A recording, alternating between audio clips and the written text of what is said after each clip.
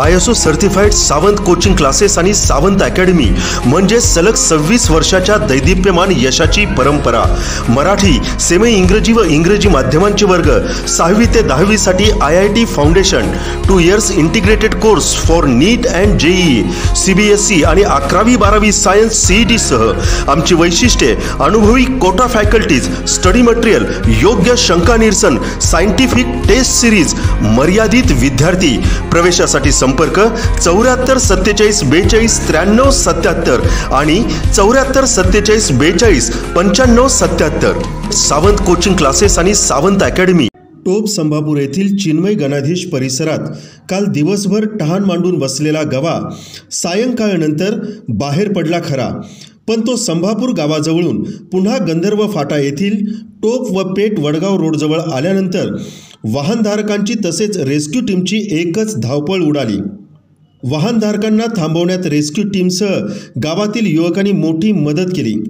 हा गवा पुन्हा रॅम्बो ग्राउंडवरून राष्ट्रीय महामार्गाकडे जात असताना त्या ठिकाणी तारेचे कंपाऊंड आडवे आल्याने हा गवा पुन्हा मागे फिरला.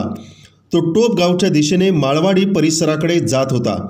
त्याला पुन्हा हायवेकडून कासारवाडी डोंगराकडे पाठवण्याचे प्रयत्न सुरू होते.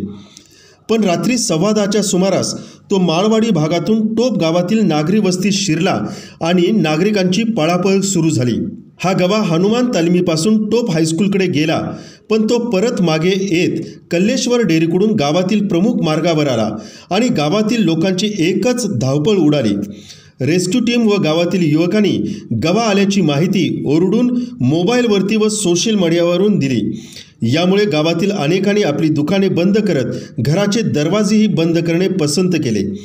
गावातील प्रमुख मार्गाने हा गवा हनुमान मंदिरापासून कल्लेश्वर मंदिराकडे गेल्यानंतर तेथील एका उसात शिरला. त्यानंतर रात्री साडे अकराच्या सुमारास आंबेडकर नगर परिसरात हा गवा पुन्हा दिसला.